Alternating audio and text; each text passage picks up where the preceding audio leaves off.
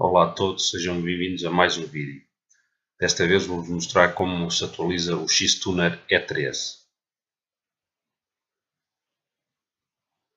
Basta virem aqui onde diz Settings, vêm ali onde diz Update. Como podem ver há uma atualização para a versão 9.2 e diz ali que altera o próprio interface de diagnóstico. Vamos atualizar.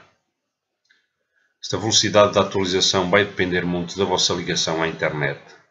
Ora pode ser mais rápida, ora pode ser mais lenta. Isso vai depender muito da vossa ligação à internet.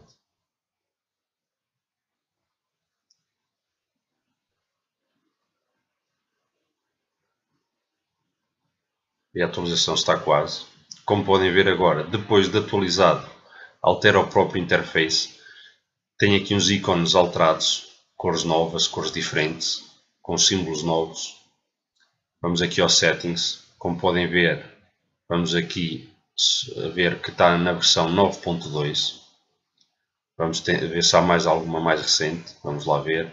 Como podem ver, diz aqui na máquina que temos a última versão disponível neste, neste momento. Agora vou-vos mostrar como é que se atualizam os próprios um, as aplicações das várias marcas. Podem selecionar uma a uma, dependendo do que querem atualizar. Ou podem vir aqui abaixo e selecioná-las todas. Clicam ali e vai começar a atualizar. Isto é como a atualização do próprio interface, depende muito da, velocidade, da vossa velocidade da internet. É, há os que são mais, mais rápidos, outros são um bocadinho mais lentos, também vai dependendo de, do conteúdo da atualização em si.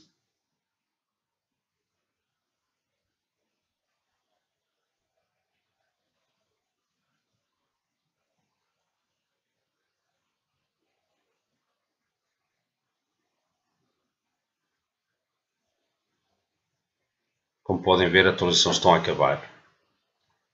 Fui aqui também atualizar o Lexus Pro. Neste momento está tudo, está tudo atualizado, está tudo em dia. Ora e por hoje é tudo.